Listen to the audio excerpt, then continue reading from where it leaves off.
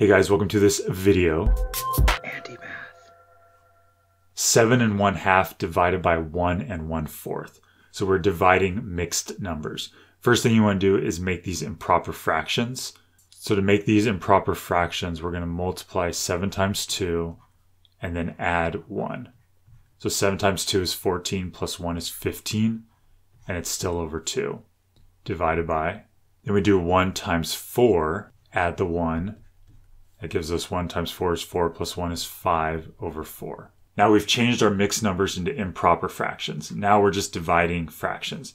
Anytime you divide a fraction, you rewrite the first one, you multiply, and you flip the second one. So the 5 fourths became 4 fifths.